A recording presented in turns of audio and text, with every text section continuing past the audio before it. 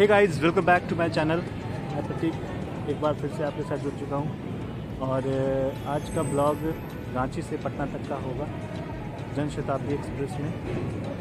तो ज़्यादा time waste नहीं करते हुए, चलिए आज का सफ़र आपको दिखाते हैं। और चैनल पर नए हैं तो इसे प्लीज़ सब्सक्राइब कर लीजिएगा।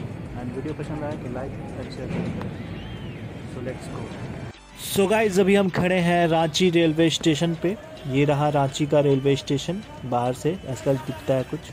और टाइम हो चुका है चौदह बजकर छः मिनट। सो चलिए, चलते हैं रेलवे स्टेशन के अंदर। और हमारी ट्रेन की टाइमिंग है चौदह बज के पच्चीस मिनट पे। सो चलिए, चलते हैं। और हमारी ट्रेन लगी है प्लेटफॉर्म नंबर तीन पर। सो so, ये रहा सीढ़ी और सीढ़ी से चलते हैं प्लेटफॉर्म नंबर तीन पर और चलकर देखते हैं। तो भाई लोग हमारी ट्रेन लगी है प्लेटफॉर्म नंबर तीन पर और टाइम काफ़ी लेट हो चुका है क्योंकि सवा तीन बज चुके हैं और हम्म, जल्दी जल्दी चलना होगा। तो चलिए चलते हैं जल्दी से ट्रेन के पास।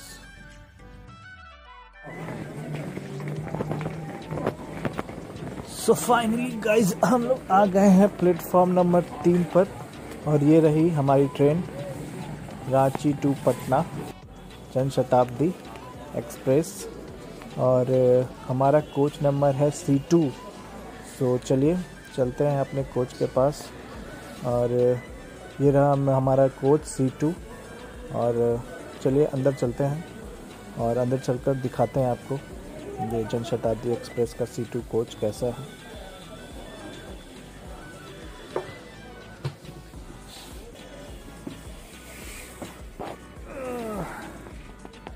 सो गाइज़ यही है देखिए हमारा कोच सी टू काफ़ी नीट एंड क्लीन सा लग रहा है। और हमारा सीट नंबर है सेवेंटी सो ये रहा हमारा seat number seventy window side काफ़ी अच्छा सा सीट है, क्योंकि विंडो साइड है तो भाई नज़ारे मारते हुए चलना है। और ये रहा हम लोगों का seat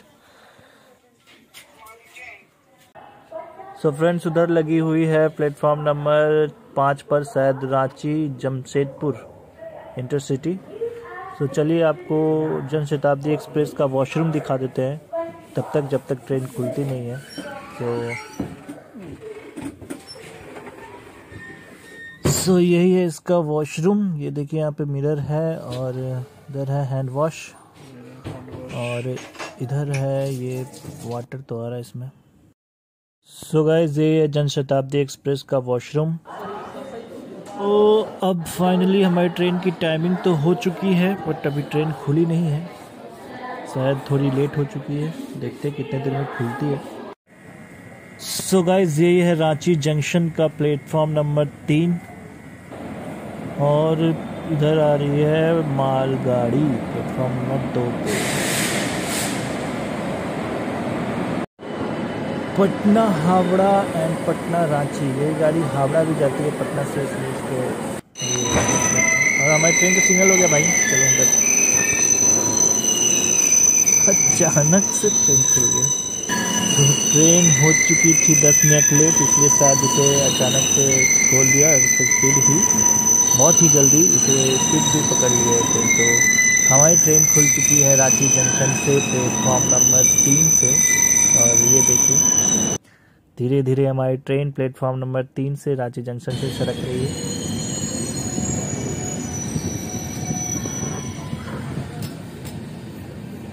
Ranchi junction bye bye Ranchi. तो गाइस धीरे धीरे हम रांची शहर छोड़ रहे हैं और यहाँ है ये पर्दा।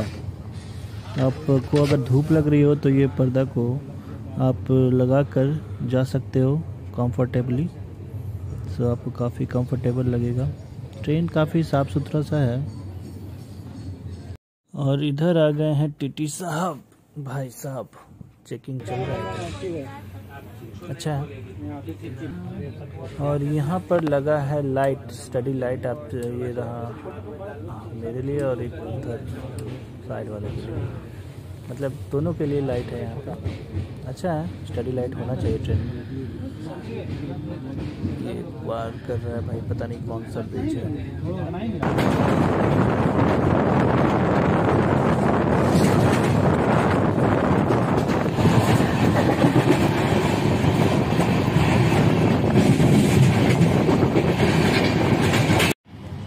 मौसम ख़राब हो रहा है तो भाई यहाँ पर लगता है कि वेदर चेंज हो रहा है क्योंकि अभी काफ़ी अच्छा खासा धूप सा था और अचानक से बादल छा गए सो ट्रेन हमारी पास कर रही काफ़ी स्पीड में और तो रांची क्रॉस कर चुके हैं हम लोग और ऑब्वियस सी बात है हम लोग झारखंड में हैं। तो काफ़ी सुंदर सुंदर सा नेचर नेचुरल ब्यूटी देखने को मिलेगा। पहाड़, पर्वत, जंगल, झाड़, क्योंकि भाई झारखंड है तो जंगल, झाड़ तो होना ऑब्वियस सी बात है झारखंड में। सो ये देखिए स्टार्ट हो भी हो चुका है। हम लोग जंगल, झाड़ वाले एरिया को क्रॉस कर रहे हैं और दिखाते हैं आपको एक अच्छा सा व्यू सो बने रहिए मेरे साथ।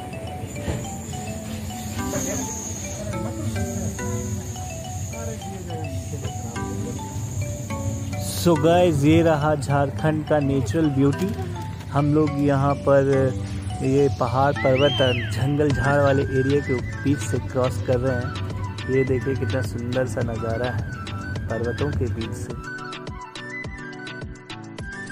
भाई ट्रेन पूरा गोल घूम गया है. ओ माय गॉड मस्त लग रहा है देखने में. देखिए वो, देखिए उधर साइड एकदम आगे इंजन दिख रहा है.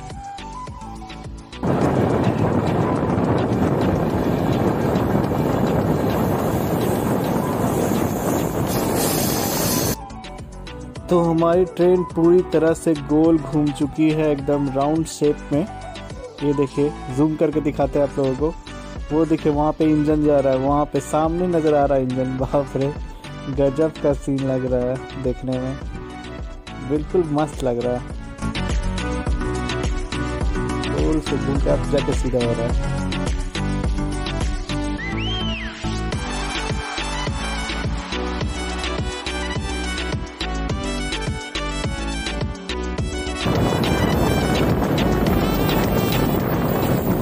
ये जो रास्ता बनाया हुआ है, ये पत्थरों को, पहाड़ों को चीर के बनाया हुआ है देखिए, पूरे चट्टान को काटा हुआ है। तो कभी भाग के उधर तो कभी भाग के उधर। बस आप लोगों के लिए एक अच्छा सा व्यू दिखाने के लिए इधर उधर करना पड़ रहा है देखिए। इधर से भी ग्राउंड से घूम रहा है। गाइस ये रहा झारखंड का नज़ारा। जन शताब्दी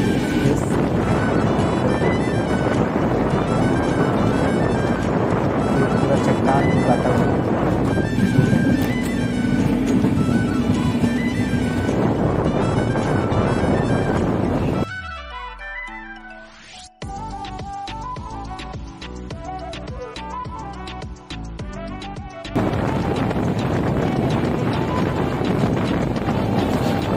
रेलवे स्टेशन, पूरा पत्थरों पहाड़ों के बीच में है भाई। खतरनाक वाला व्यू आता होगा ऊपर से बनने पे। और वो उधर सामने नज़र आ रहा है जन शताब्दी एक्सप्रेस का इंजन। पूरा गोल घूम रहा है।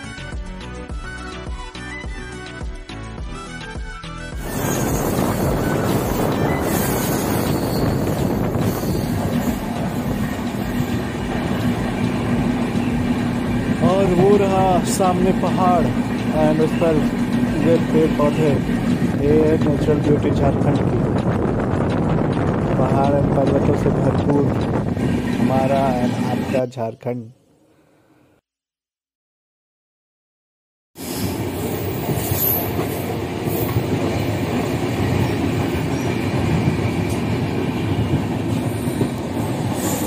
अभी हम क्रॉस कर रहे हैं जंगलों के बीच से, हरियालियों के बीच से।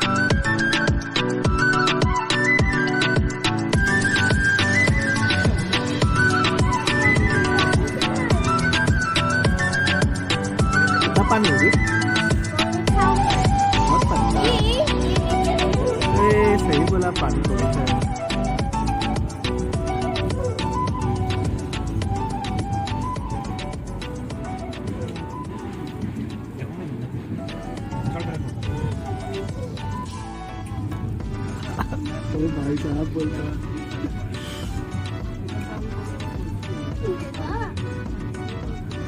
लगता है कोई जंक्शन आने वाला है ना?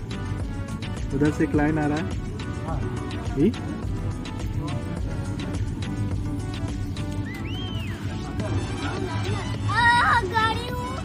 ट्रेन जा रहा है। गाड़ी जा रहा है।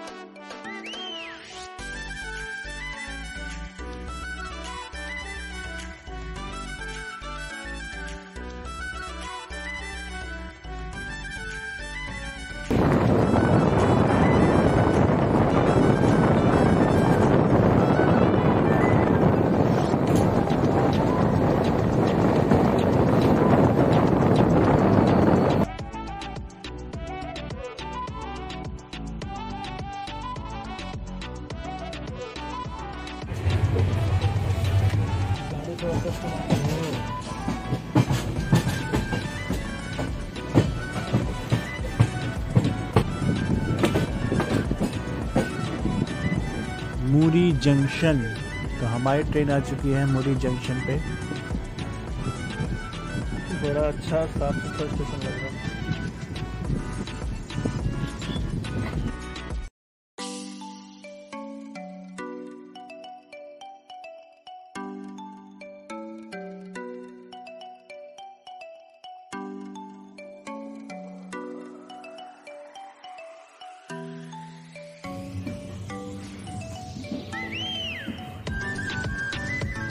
Bokaro steel city. तो भाई साहब, हमारी ट्रेन आ चुकी है बोकारो स्टील सिटी, जो कि झारखंड का काफ़ी पॉपुलर सा शहर है।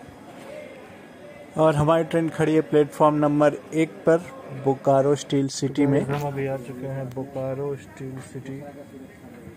और ये बोकारो स्टील सिटी के प्लेटफॉर्म नंबर एक पर खड़ा है। और टाइम हो चुका है चार और यहाँ बोकारो स्टील सिटी में प्लेटफॉर्म की संख्या है दो, तीन। तीन प्लेटफॉर्म नंबर है। प्लेटफॉर्म तो ज़्यादा नहीं है, लेकिन बोकारो अच्छा खासा पॉपुलर सा सिटी है, झारखंड का। स्टील की बड़ी बड़ी फैक्ट्रियाँ हैं, बनाई जाती हैं।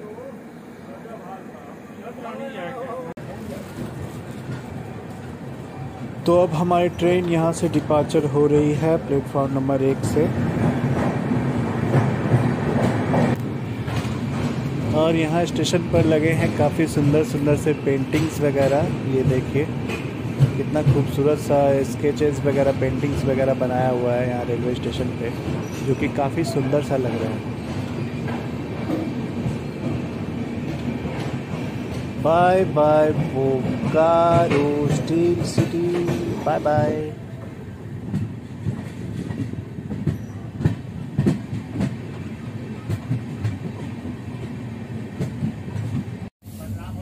और हमने लिया है ये ब्रेड ऑमलेट। सो अब इसे खोलते हैं और देखते हैं।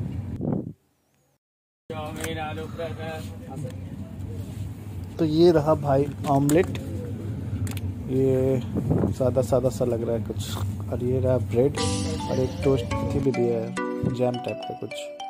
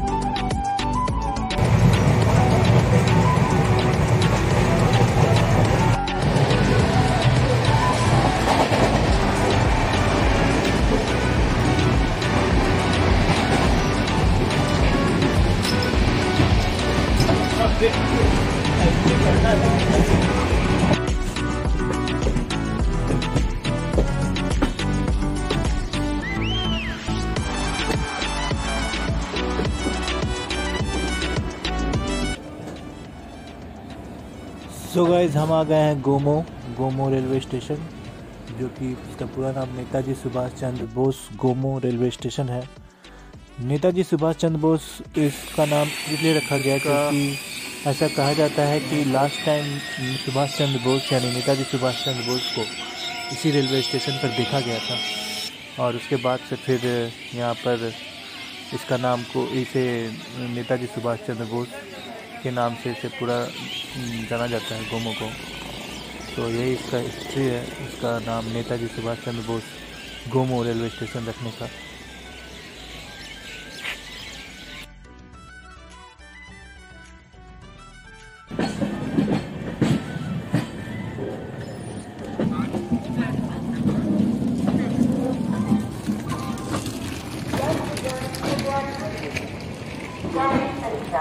गाइस हम लोग पहुँचे गया जंक्शन टाइम हो रहा है आठ बजे.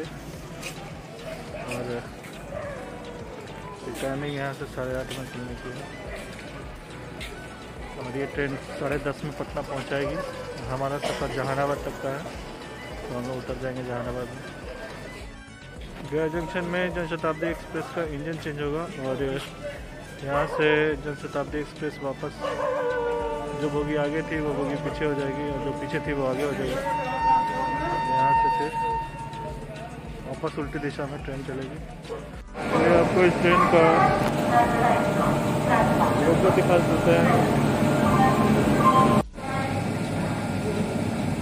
तो ये लगी है वैप लोकोमोटिव जो कि हावड़ा की है D zero five zero eight और इधर लगी है सात नंबर पर भभुआ इंटरसिटी, जो कि पटना से आती है और भभुआ तक को जाती है। और हमारी ट्रेन लगी है छः नंबर प्लेटफॉर्म।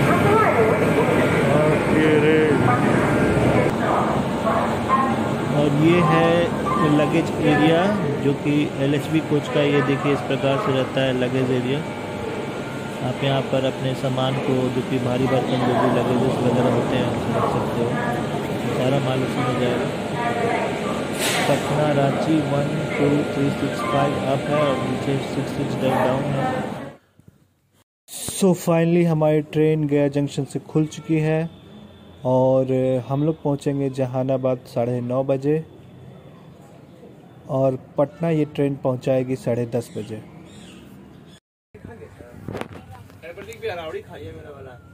कौन खा लिया? अब तो खत्म भी हो गया राबड़ी। अब वो पानी बोतल बेच रहा है।